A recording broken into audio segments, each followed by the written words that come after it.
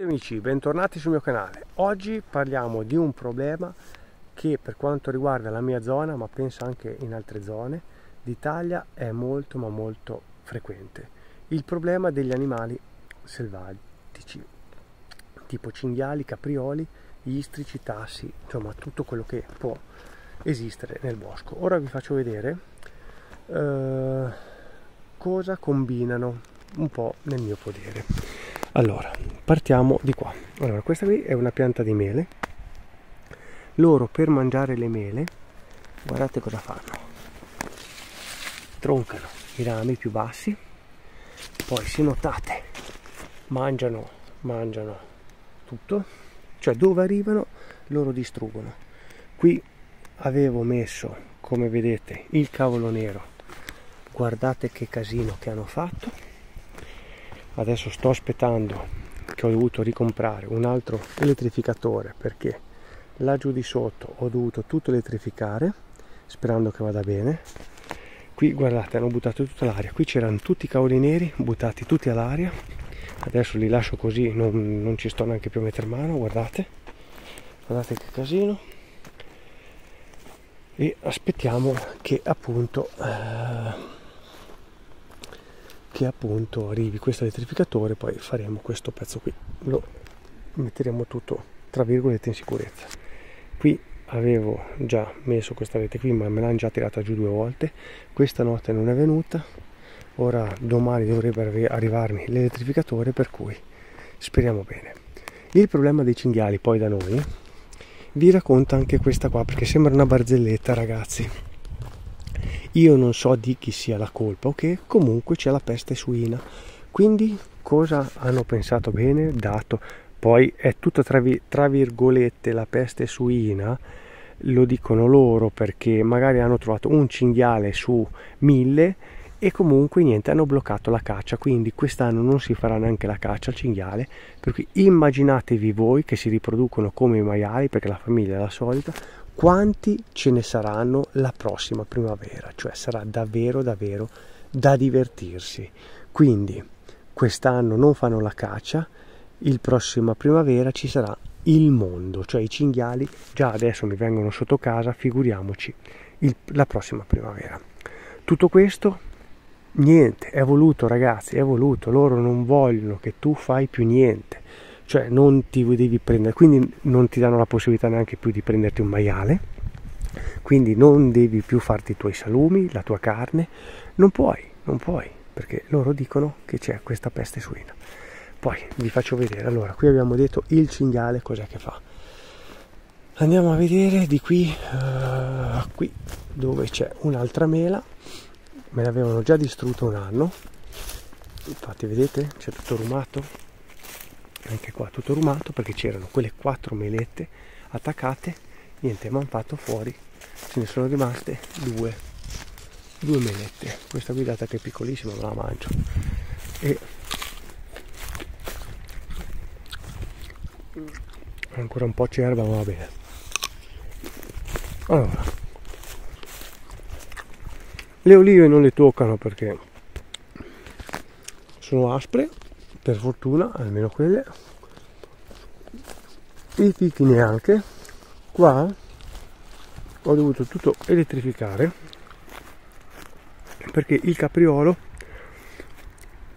mi divorava praticamente tutti i fagiolini. E quindi ho dovuto praticamente recintare tutto. Questa qui è una mela che non ce n'è rimasta attaccata neanche una infatti sotto c'è tutto bello pulito andiamo a vedere. Poi vi faccio vedere un altro pezzo che è veramente qui. Come vedete c'è rumato anche qua però qui non ce n'è di frutta quindi è venuto a rumare magari sentendo dei ecco guardate qua. Guardate qua c'è un rumato di fresco. Guardate sembra, sembra fresato ragazzi. Allora. Allora. Qui uguale ho dovuto. Questi ormai sono partiti però all'inizio mi aveva tutto rovinato questi cavoli. Avevo messo questa recensione qua volante un po' salvato. Abbiamo poi il problema qui ho le zucche che capriole istice ne va veramente ghiotte tante ho già tolte. Ecco qua cosa che fa. Guardate eccola qua vedete questa è bella fresca eh? è venuta a mangiarlo stanotte. Vedete? In più guardate. Pomodori mi mangia. Guardate qua. Li tira giù. Ora non so se è il cinghiale o chi o che. Guardate peperoni. Queste sono le piante di peperoni tutte rovinate. Guardate. Guardate tutte mangiate. Guardate piante di peperoni guardate come fa il capriolo. Allora. E per chi forse non lo sa il capriolo in Italia è il paese che ne ha di più in tutta Europa. Anzi andate a vedere le statistiche ci sono fra un po' più caprioli in Italia che in tutta Europa. Cioè per dirvi che magari gli animalisti dicono potrebbero pensare che eh, ma gli animali ci devono essere nel bosco. Sì ma se ce ne sono troppi c'è qualcosa che non quadra ok?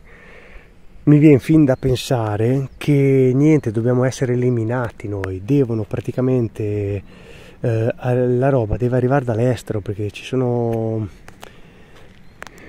ci sono, si vede delle convenienze per chi decide queste cose qua, perché sennò non, non si spiega questa, tra virgolette, politica di... cioè hanno buttato il lupo, cosa serviva buttare il lupo?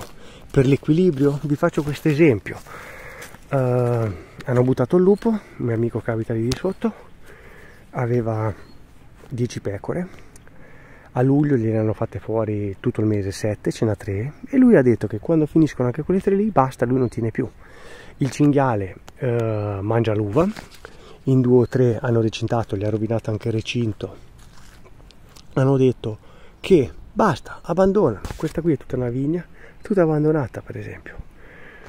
E quindi cosa, cosa, succede? Che questo diventerà un bosco, lui le pecore le butterà via, cioè le butterà via, non le prenderà più, quindi lì diventerà un altro bosco e, e via che andiamo, cioè è una cosa che è voluta.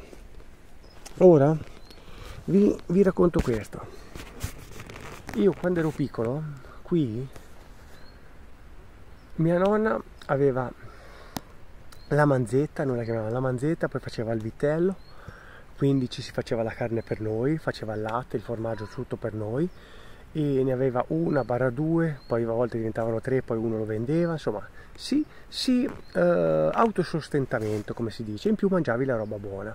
Il vicino aveva, mi sembra, quattro mucche, addirittura qui c'era... Eh, qui avevano diciamo così creato un latte tipico della nostra zona e quindi venivano a prendere il latte di qua e, la, il latte di sotto che c'era un'altra famiglia che ce ne aveva 7 o 8 tutto questo è andato a sparire cioè qui praticamente ci sono 1, 2, 3 case in tre case ci saranno state tipo 15 16 mucche, magari nel paese di fronte ce n'erano altre 40, cioè oggi mucche qui non ce l'ha più nessuno. Tutto questo perché poi si sono inventati mille cavolate e quindi hanno tagliato fuori, diciamo, il piccolo, perché troppe rogne uno inizia a dire ma cosa me ne frega.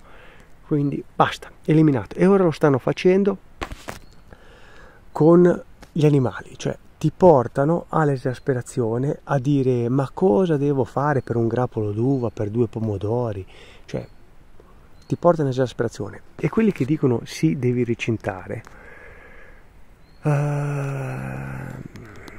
se uno avesse un campo tranquillo, la recinzione non è niente. E poi quello lì d'uva, lui ha recintato, ma gli hanno buttato per aria anche il recinto, per cui c'è poco da fare. E ah, vi faccio vedere. Qui ho messo questa rete qui un po' il capriolo l'ho salvata.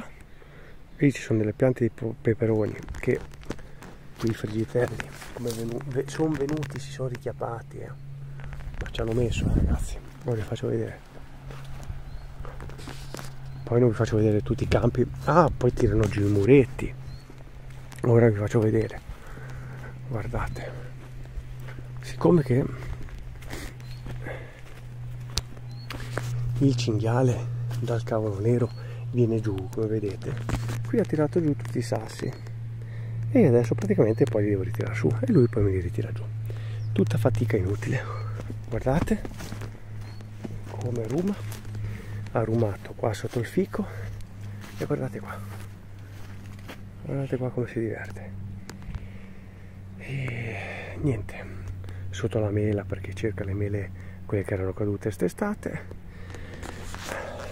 Niente ragazzi. È così. Quindi questo è un video sfogo.